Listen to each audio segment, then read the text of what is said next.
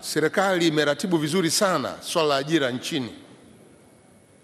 Na imetoa kipaumbele kwa Watanzania kupata ajira kwenye sekta zote nchini, na wageni wanayo fursa, lakini kwa masharti. Ajira zote za wageni nchini Tanzania ni kwa nafasi zile za kitaalamu tu ambazo Watanzania hawana uwezo nazo, na hatujaacha wazi, tumeweka ukomo. Ni wat, wageni watano tu kwa taasisi ndio wanapata fursa ya kuajiriwa ndani ya nchi kuitumikia taasisi hiyo, na ni kwa nafasi ambazo Watanzania hawana uwezo nazo, na jambo hili linasimamiwa na ofisi ya waziri mkuu, na tutaendelea kulisimamia kuhakikisha kwamba Watanzania wanapata fursa nambari moja ya kuajiriwa kwenye sekta zote ndani ya nchi, na pale ambako inalazimika taifa la nje kupata ajira kama ambavyo nimeeleza, tunaendelea kusimamia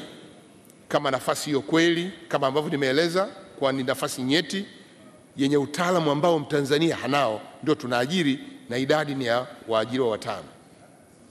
Sasa maeneo ambayo mheshimiwa ameyataja kwamba wako wageni wanaweza kufanya kazi, tumeendelea kudhibiti vile vile kuhakikisha kwamba maeneo hayo viwanja vya ndege, bandari na maeneo ya mipaka kule kwenye boda zetu, hakuna mgeni anayeweza kufanya kazi, kwa sababu kuna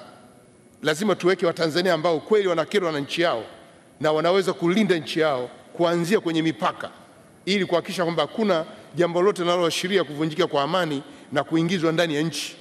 na mtu yoyote ambaye anaweza kumwajiri. Kwa hiyo nataka niwahakikishie Watanzania kwamba ajira hizi, ukikuta mtu yoyote wa taifa la nje anafanya kazi kwenye maeneo hayo, viwanja vya ndege, bandari na mipaka, labda kama kuna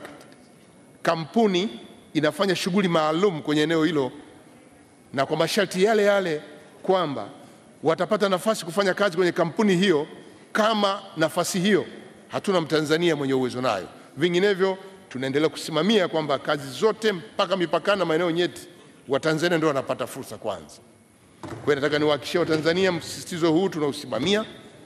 na ofisi yangu inayo idara inasimamia jambo hili, na tunafanya ukaguzi wa mara kwa mara kujiridhisha kwamba hakuna ujanja ujanja unaoletwa iwe na mwekezaji au mtu yeyote ambaye amepata nafasi ya kuingia nchini na sio Mtanzania kupata ajira kwenye sekta zetu.